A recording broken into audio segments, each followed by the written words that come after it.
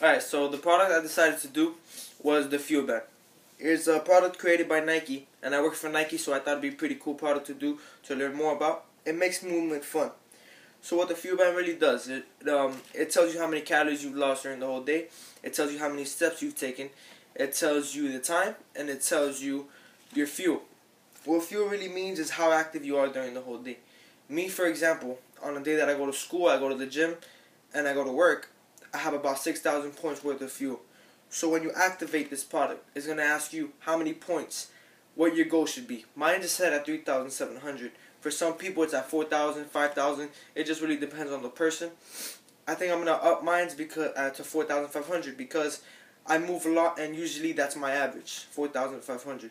Except on weekends. On weekends, I have about 2,000, 1,500. This is my lazy days. Alright, on who who wears the product? Uh, Kevin Durant uh, one of the best NBA players of all time. He wears the product.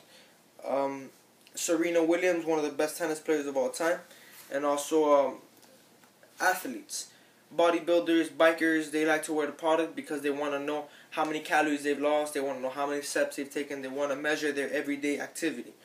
Also, celebrities such as Kanye West and Miley Cyrus wear on rare occasions.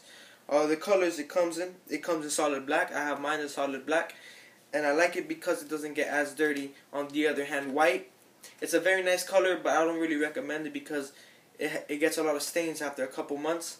But if you take care of it, it's a really nice. It, I, I, in my opinion, I like it on girls. I think it stands out, and it's a really nice color. Uh, also, it comes in clear black. You can see the the buttons inside on the clear black one, so it's a pretty interesting color. It comes in small, medium, and large. And I like uh, I like mine's. I like it to be uh, like tight on mine so I get the I get the small one. But on some people they like it loose, like, like Kevin Durant. He wears it during his basketball games. I'm sure he wouldn't like it tight.